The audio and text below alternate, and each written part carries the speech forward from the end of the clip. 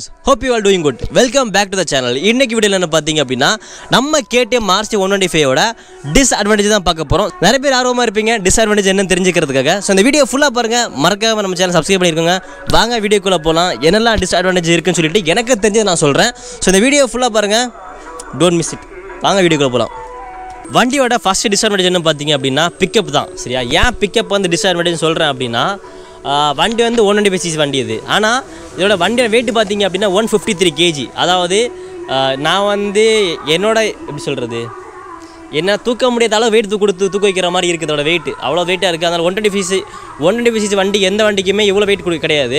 இந்த கேடிஎம் இது RC one twenty five மட்டும் நினைக்கிறேன். அவ்வளோ வெயிட் கொடுக்குறது ஒன் டுவெண்ட்டி சிசியில் ஸோ பார்த்தீங்கன்னா நம்ம ஏற்ற ஏறும்போது பார்த்தீங்கன்னா இப்போ வந்து ஸ்லோ அப்படியே வேகமாக போய் அப்படியே ஏற்றி ஏறினா பிரச்சனை கிடையாது. இந்த மாதிரி ஒரு குட்டியாக ஒரு ஏற்றம் இருக்குது அப்படின்னா அங்கே வண்டி ஸ்டாப் பண்ணிட்டு ஏற்று ஏறுனீங்க அப்படின்னா வண்டி ஏற கஷ்டப்படும். நான் உங்களுக்கு லைவாகவே காட்டுறேன் அப்படின்னு சொல்லிட்டு. இந்த கவரத்துக்கு வச்சுருந்தேன் பார்த்தீங்கன்னா வண்டிக்கு சர்வே வண்டி கழுவிட்டு இருந்தேன். அப்போ பார்த்தீங்கன்னா பேட்டரி ஆக்சுவலாக சார்ஜ் பண்ணுறது இது தண்ணி உள்ளே போச்சு அப்படின்னா பேட்டரி வந்து சர்க்யூட் ஆச்சுன்னா அதனால தான் வச்சுருந்தேன் க்ளீன் பண்ணேன். ஸோ இப்போ நம்ம காட்டுறோம் உங்களுக்கு.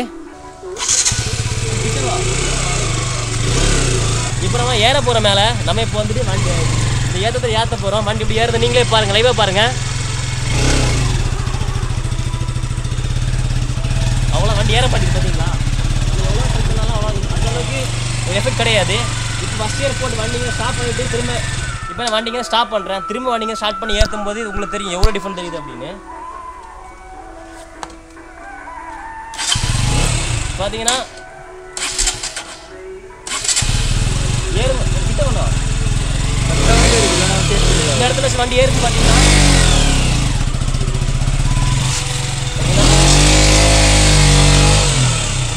ரொம்ப கஷ்டப்பட்டு வண்டி ஏற மாதிரி இருக்கும். இதே சிங்கிளாக இருக்கும்போது இவ்வளோ இருக்குது சிங்கிளாக இருக்கும்போது பார்த்தீங்கன்னா எவ்வளோ கஷ்டமாக இருக்குது சப்போஸ் நீங்கள் டபுளாக போனீங்க அப்படின்னா இந்த மாதிரி ஏற்றத்தில் வண்டி நிப்பாட்டிட்டு ஏறும்போது பார்த்தீங்கன்னா ரொம்ப ரொம்ப ரொம்ப கஷ்டமாக இருக்குது இப்போ என் தம்பி பின்னாடி ஏறுவான் அப்போ எப்படி வண்டி மூவ் ஆகும் பார்க்கலாம் இப்போ பார்த்தீங்க அப்படின்னா ஏற்றத்தில் இருக்கிறோம். பெரிய ஏற்றலாம் கிடையாது சின்ன ஏற்றம் தான் இது. இப்போ டபுள்ஸில் இருக்கிறோம். ஓகேங்களா? எப்படி அப்படி இப்படி இங்கே இப்படி இப்படி இப்படி இப்படி இப்படி. இப்போ பார்த்தீங்கன்னா வண்டி ஃபஸ்ட் இயரில் வண்டி கிடக்கு. எல்லாம் பார்க்கலாம் வண்டி காட்டு. வண்டி பார்த்தீங்கன்னா ஃபஸ்ட் இயரில் வண்டி போய் கிடக்குது. அப்படி ஓகே. ஃபஸ்ட் இயரில் கிடக்குது. நான் இப்போ வண்டி ஸ்டார்ட் பண்ணுறேன் வண்டி வண்டி எப்படி ஏறுதுன்னு பாருங்கள் நீங்கள்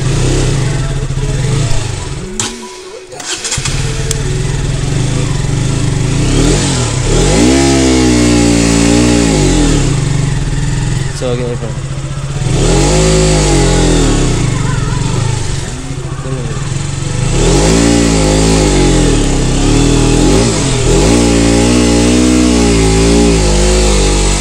ஓகே அப்படியே ஓகே இறங்கு.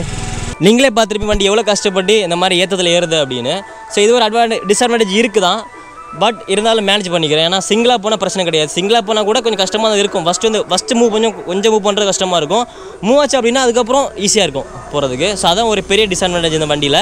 அடுத்து என்ன அடி வேறு என்ன டிஸ்அட்வான்டேஜ்னு சொல்கிறேன் நெக்ஸ்ட் பாயிண்ட் போகலாம் இப்படி. இப்போ நான் வந்துட்டு ஸ்பீடாக வண்டி ஏற்றுறேன் அப்போ எப்படி ஏறுது நீங்கள் பாருங்கள் ஸ்பீடாக அங்கேருந்து கீழேருந்து ஸ்பீடாக ஏற்றுறேன் அப்போ வண்டி எப்படி ஏறுது நீங்கள் பாருங்கள் அப்படியே ஆஃப் பண்ணணும் ஆஃப் பண்ணாமா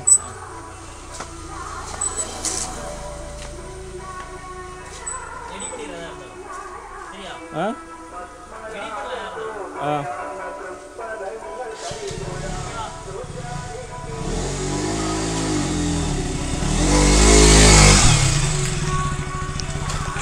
ஓகே நம்ம இப்போ வந்துட்டு எப்படி ஏறிச்சு நீங்கள் பார்த்துருப்பீங்க. நம்ம வேகமாக வந்தால் அவனை சூப்பராக ஏறும் இதே இது இந்த வண்டி தான் எப்படி இருக்குது வேறு வண்டியில் ட்ரை பண்ணி பார்க்கலாம். நம்ம ஸ்கூட்டியில் ட்ரை பண்ணி பார்க்கலாம். நம்ம டியோ இருக்குது டியோவில் ட்ரை பண்ணி பார்க்கலாம். இல்லைனா ஹீரோ ஹோண்டா பைக் இருக்குது அந்த பைக்கில் ட்ரை பண்ணி பார்க்கலாம். ஸோ நம்ம இப்போ வந்து டியோ ஹீரோ ஹோண்டா பைக்கில் ட்ரை பண்ணி பார்க்கலாம். எப்படி வருதுன்னு சொல்லிட்டு. ஸோ இதே மாதிரி ட்ரை பண்ண போகிறோம் நம்ம ஹீரோ ஹோண்டா பைக்கில் ஸோ இப்போ பார்த்தீங்கன்னா நம்ம வந்து இது வந்து super splendor one twenty CC இது. நான் டியோ ஸ்கூட்டி ட்ரை பண்ணலாம் பார்த்தேன். ஏன்னா டியோ ஸ்கூட்டி பார்த்தீங்கன்னா ஹண்ட்ரட் சிசி நினைக்கிறேன் வண்டி. ஸோ இது வந்து ஒன் டுவெண்ட்டி சிசினால ஸோ இந்த வண்டி பார்த்தீங்கன்னா வெயிட் ஒன் டுவெண்ட்டி கேஜின்னு நினைக்கிறேன். One hundred and something KG தான் இருக்கும். ரொம்ப வெயிட் கிடையாது. ஆனால் ஒன் டுவெண்ட்டி சிசி இந்த வண்டி எப்படி வருது நீங்களே பாருங்கள் இப்போது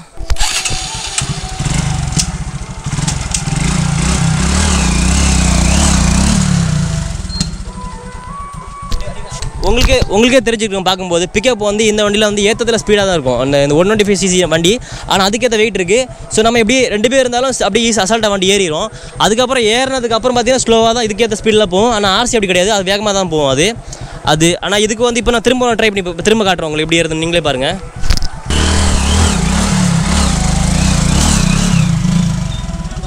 இதை பார்த்தீங்கன்னா டபுள் ஸ்விட்ச் ஏற போகிறோம் நம்ம. இப்போ டபுள் ஸ்விட்ச் ஏர் பார்க்கலாம் எப்படி இருக்குன்னு சொல்லிட்டு. ஃபஸ்ட் இயர் போட்டு எப்படி ஏறுதுன்னு பார்ப்போம்.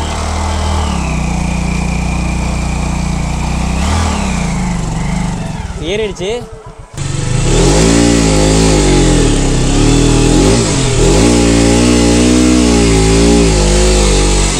ஓகேயா அப்படியே ஓகே இறங்கு. ஸோ அதே கொடுக்க அதே அந்த வண்டியில் கொடுக்குற மாதிரி இதே கொடுத்த மட்டும் சூப்பராக ஏறிச்சு. இந்த வண்டிக்கு அந்த வண்டிக்கும் டிஃப்ரெண்ட் பார்த்தீங்க அப்படின்னா இந்த ஏற்றத்தில் பார்த்தீங்க இந்த மாதிரி தான் இருக்குது கீழே அப்படியோ ஸோ நீங்களே பார்த்துருப்பீங்க இப்போ ஆர்சி ஒன் ஹண்ட்ரட் ஃபைவ்க்கும் இதே தாட்டில் தான் கொடுத்தேன். இந்த வண்டியில் ஏற்றுற மாதிரி அந்த வண்டி ஏற்றுறேன் பட் அது வந்து அந்தளவுக்கு ஏறல உங்களுக்கே தெரியும். ஸோ இது பார்த்தீங்கன்னா ஸ்பீடாக ஏறிச்சு. ஏன் ஏன் அப்படின்னு பார்த்தீங்கன்னா இது வந்து அதுக்கே ஒன் டுவெண்ட்டி ஃபைவ் சிசினா அதுக்கேற்ற வெயிட் கொடுத்துருக்காங்க. இது ஒன் டுவெண்ட்டி ஃபைவ் சிசி அப்படி சிசி அப்படின்னா இந்த பைக்கோட வெயிட் என்ன பார்த்தீங்கன்னா ஒன் ஒன் டுவெண்ட்டி கேஜிக்குள்ளே தான் இருக்கும். அதனால் வந்துட்டு அது வந்து ஈஸியாக பிக்கப் ஆயிடுச்சு ஆனால் அந்த வண்டியில் பார்த்தீங்கன்னா one twenty five one twenty five சிசியில் one fifty three KG அந்த வண்டி. சப்போஸ் அந்த வண்டி ஒரு ஃபோன் ஒன் ஃபிஃப்டி சிசி இருந்திருந்தா சூப்பராக இருந்திருக்கும் அந்த வண்டி. அது என்னோட thought one twenty five CC வந்து ஆர்சி ஒன் டுவெண்ட்டி ஃபைவ்க்கு ஆர்சி ஒன் ஃபிஃப்டின் வச்சிருந்தா வேற லெவலில் இருந்திருக்கும். ஒன் டுவெண்ட்டி ஒன் ஃபிஃப்டி சிசினா இன்னும் சூப்பராக இருந்திருக்கும்னு நினைக்கிறேன். அடுத்த டிஸ்அட்வான்டேஜ் என்னென்னு பார்த்தீங்க அப்படின்னா சீட்டு தான். நான் காட்டுறேன் உங்களுக்கு நான். சீட்டில் டிஸ்அட்வான்டேஜ் என்னென்னு பார்த்தீங்க அப்படின்னா இந்த இடத்துல பிளாஸ்டிக் கொடுத்துருக்காங்க. ஸோ இந்த இடத்துல அவங்க ஒரு ஸ்டீலில் இரும்பை கொடுத்தா நல்லா இருந்திருக்கும். இங்கே பார்த்தா உங்களுக்கே தெரியும். இந்த இடத்துல பார்த்தீங்கன்னா கண்ணி இருக்குது இந்த கண்ணிலே இது மாட்டுது. இந்த கண்ணிலாம் பார்த்தீங்கன்னா இது வந்து மாட்டோம். ஸோ இது மாட்டுறது பார்த்தீங்கன்னா அவங்க பிளாஸ்டிக் கொடுத்ததுனால நான் வண்டி வாங்கி ஃபஸ்ட் டேயே அது உடச்சிட்டேன் நான். ஸோ இப்போ ஒன்றே ஒன்று தான் லாக்கில் இருக்குது ஸோ அதான் ஒரு பெரிய டிஸ்அட்வான்டேஜ் இதில். ஸோ அடுத்து என்ன பார்த்தீங்க அப்படின்னா கிரவுண்ட் கிளியரன்ஸ் தான். இப்போ வந்து சிங்கிளாக போயிருக்கீங்க அப்படின்னா ஸ்பீட் பிரேக்கில் ஏறும்போது இறங்கும்போது பார்த்தீங்கன்னா ஸ்மூத்தாக தான் இருக்கும். இப்போ நான் டபுள்ஸாக போனீங்க அப்படின்னா கண்டிப்பாக கீழே இடிக்க தான் செய்யும். ஸோ அது ஒரு இருக்குது ஒரு பாயிண்ட் இருக்குது கண்டிப்பாக நான் நிறைய வாட்டி வந்துட்டு சிங்கிளாக போகும்போது பிரச்சனை இருக்காது. ஒரு ஸ்லோவாக போனால் சிங்கிளாக போனால் கூட நீங்கள் ஸ்பீடாக வேகமாக போனீங்க அப்படின்னா அந்த மாதிரி ப்ராப்ளம் ப்ராப்ளம் வரும். நீங்கள் சிங்கிளாக போயிட்டு ஸ்லோவாக போனீங்கன்னா அந்த பிரச்சனை இருக்குது. அதனால் டபுள்ஸாக போயிட்டு நீங்கள் ஸ்லோவாக போனாலும் சரி ஸ்பீடாக போனாலும் சரி கண்டிப்பாக இடிக்க தான் செய்யும் அது. அதுக்கப்புறம் வேறு என்னென்னா வேறு லைட் ஒரு இது இருக்குது லைட் வந்து பார்த்தீங்கன்னா லோ பீம் ஹை பீம் ரெண்டு லைட் இருக்குல்ல பார்த்தீங்களா லோ பீம் ஹை பீம் ரெண்டு இருக்குது ஸோ இது வந்து பார்த்தீங்கன்னா நம்ம ஏதாவது ஒன்று யூஸ் பண்ண முடியும். ரெண்டு சேர்த்து யூஸ் பண்ண முடியாது. இப்போ நீங்கள் லா ஒரு ஒரு பெரிய இடத்துக்கு போயிட்டுருக்கீங்க ஒரு பெரிய காடாக இருக்குது அந்த இடத்துல போயிட்டுருக்கீங்க. உங்களுக்கு ரெண்டு லைட்டு தேவைப்படுது அப்படின்னா கொஞ்சம் கஷ்டமாக தான் இருக்குது ஏன்னா நீங்கள் ரெண்டு லைட் தேவைப்படுது அப்படின்னா நீங்கள் லோ பீம் போட்டுட்டு ஹை பீம் வந்து பாஸ் லைட் அடிச்சுட்டே தான் போக வேண்டியதாக இருக்குது அது இது ரெண்டு லைட்டும் போட்டு ஓட்ட வேண்டியதாக அந்த ஆப்ஷன் கிடையாது. அது பிஎஸ் த்ரீக்கு இருக்குது நான் பிஎஸ் ஃபோர் சிக்ஸ்க்கெல்லாம் இல்லை. ஸோ அது இருந்தால் நல்லா யூஸ்ஃபுல்லாக இருந்திருக்குன்னு நினைக்கிறேன். அடுத்து என்ன இருக்குது பார்த்து இன்னொரு விஷயம் என்ன இருக்குது பார்த்தீங்கன்னா லக்கேஜ் தான். நீங்கள் லக்கேஜ் நீங்கள் இந்த வண்டியில் எடுத்துகிட்டு போகவே முடியாது. இந்த இடத்துல நீங்கள் எப்படி ஒரு லக்கேஜை கட்டி கொண்டு போவீங்க?